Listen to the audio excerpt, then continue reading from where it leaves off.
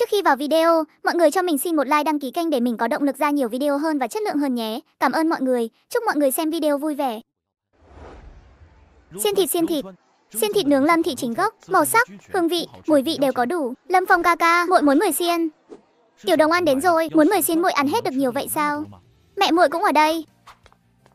Chờ chút nhé ca ca nướng cho muội ngay đây. Mẹ mơ. Cảm ơn Lâm Phong ca ca. Lâm Phong đệ đệ đang bận à? Đúng vậy Trúc Vân Tỷ đang chuẩn bị nguyên liệu đấy. Đang nướng mẹ cuối cùng, xong là về nhà. Sao vậy Trúc Vân Tỷ, mặt ta bẩn lắm à? Đâu chỉ là bẩn, gần như không nhận ra bản gốc nữa rồi. Không sao đâu lát nữa ta tan ca đi rửa là được. Ngẩng đầu lên, tỷ lau cho đệ. Không cần không cần. Nhanh lên mặt đệ bẩn quá rồi. Còn cả mồ hôi nữa, chắc chắn không thoải mái. Sau đó, Lâm Phong trở về một căn nhà gỗ đơn sơ. Anh đã sống ở đây 3 năm rồi. 10 năm trước anh ra ngoài tìm kiếm cơ duyên đột phá cảnh giới tiên vương. Kết quả là đi vòng vòng mất mấy năm. Phát hiện vẫn không có bất kỳ hiệu quả nào. Suy nghĩ rất lâu, Lâm Phong không còn chủ động đi tìm cơ duyên đột phá nữa.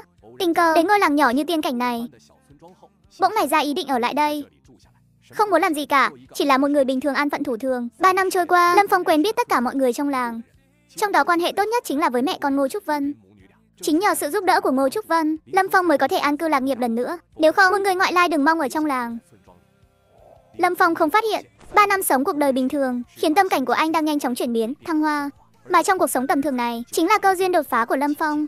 Tất nhiên câu duyên đã tìm được, nhưng trên thực tế vẫn chưa đủ chín muồi. Đợi đến khi nào, tâm cảnh của Lâm Phong hoàn toàn hoàn thành chuyển biến thăng hoa, chính là lúc bước vào cảnh giới tiên vương.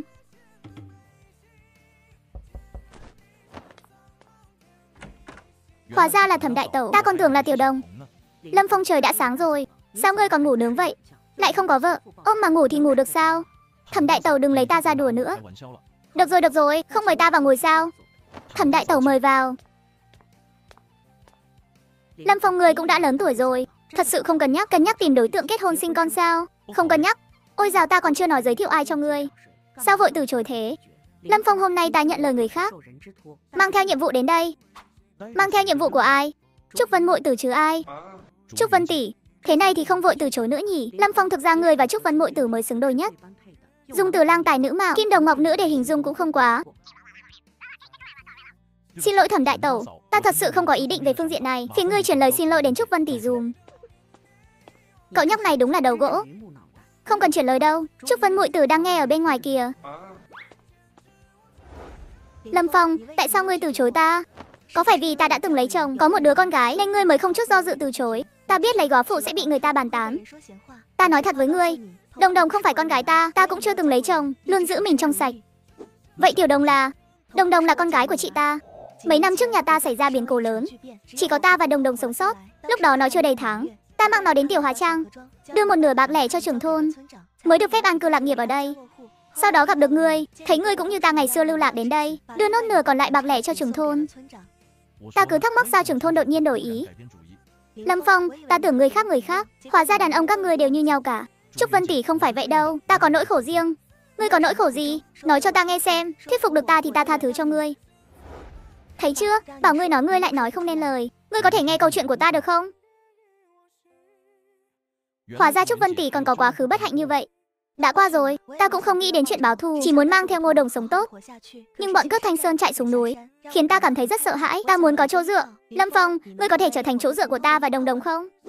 Ta có thể trở thành chỗ dựa của hai người, nhưng ta không thể cưới ngươi. Lâm Phong, ta thật sự chưa từng lấy chồng. Ngươi tin ta đi.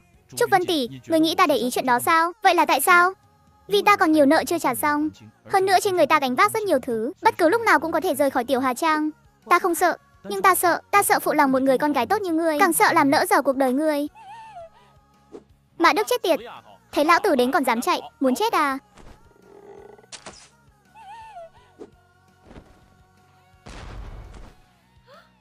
Đồng đồng đừng sợ, mẹ ở đây. Ngươi là ai? Dám xen vào chuyện của Thanh Sơn trại ta. Sống chán rồi à? Ta là dân làng Tiểu Hà Trang. Ngươi giết người Tiểu Hà Trang chẳng lẽ không nên quản sao? Ngươi muốn chết, dám nói chuyện với lão tử như vậy à?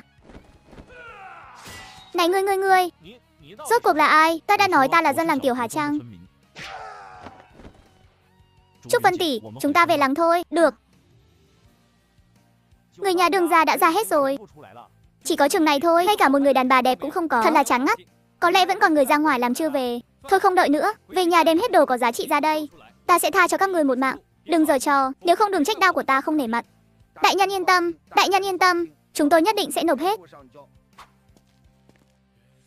Không ngờ một ngôi làng nhỏ lại có mỹ nữ tuyệt sắc kinh người như vậy, thật không uổng công đến đây. Các huynh đệ đi giết tên đàn ông và đứa nhỏ kia đi, bắt con gái về cho ta, cẩn thận đừng làm cô ta bị thương.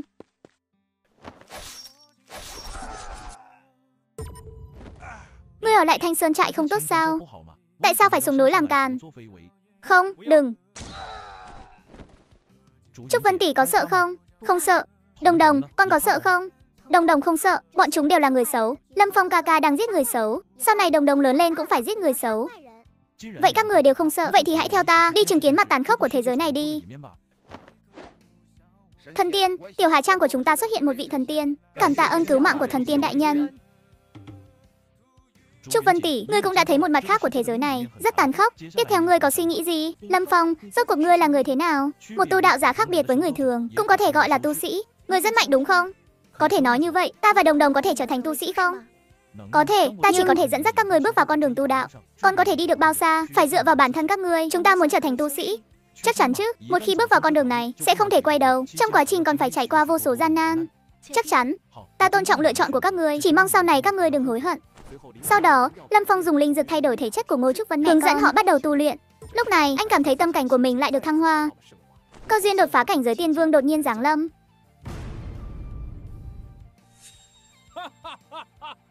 Tốt tốt tốt, quá tốt rồi, ngày này rốt cuộc cũng đến. Các người cảm nhận được chưa? Tất nhiên cảm nhận được rồi. Có người đang cố gắng đột phá vương cảnh, trở thành cường giả vương cảnh thứ 9 của chư thiên vạn giới. Các người nghĩ là ai? Lâm Phong, đúng như ta nghĩ mà thôi. Lâm Phong trước đây thể hiện ra lực chiến đấu. Một khi đột phá tiên vương cảnh, đối với ma tộc chúng ta mà nói sẽ là một trận tai ương. Cho dù ba người chúng ta liên thủ, cộng thêm linh hư tiên vương, cũng không phải là đối thủ của hắn. Vậy phải làm sao? Chúng ta đi gặp ma tử đại nhân. Thuộc hạ bài kiến ma tử đại nhân. Minh Hà không phải đã nói rồi sao? Bồn hoàng đang tích lũy năng lượng chuẩn bị giáng lâm. Nếu không có chuyện quan trọng, đừng đến quấy giày Bồn hoàng. Bẩm ma tử đại nhân, có chuyện rất quan trọng muốn nói. Những gì ngươi nói đều là thật sao? Hoàn toàn chính xác. Thuộc hạ không dám lừa dối ma tử đại nhân. Không ngờ chư thiên vạn giới còn có một tồn tại nghịch thiên như vậy, xem ra cho dù đã xa sút cũng không thể coi thường. Đã như vậy, bổn hoàng chỉ có thể sớm giáng lâm thôi. Ma tử đại nhân muốn sớm giáng lâm, không còn cách nào khác. Chư thiên vạn giới không đơn giản như các ngươi tưởng tượng đâu. Từng là nghịch thiên tử rất mạnh của bản nguyên vũ trụ. Chính là hy vọng cuối cùng mà chư thiên vạn giới thai nghén, nhất định phải sớm trừ khử, nếu không sẽ làm rối loạn kế hoạch của ma tộc chúng Nhưng ta. Nhưng mà ma tử đại nhân không có gì như nghĩ Các ngươi yên tâm, cho dù bổn hoàng sớm giáng lâm, cũng vẫn là ma hoàng. Mọi người xem hết video cho mình một like cộng đăng ký kênh. Thấy hay thì comment xuống bên dưới cho mình biết nhé. Cảm ơn mọi người.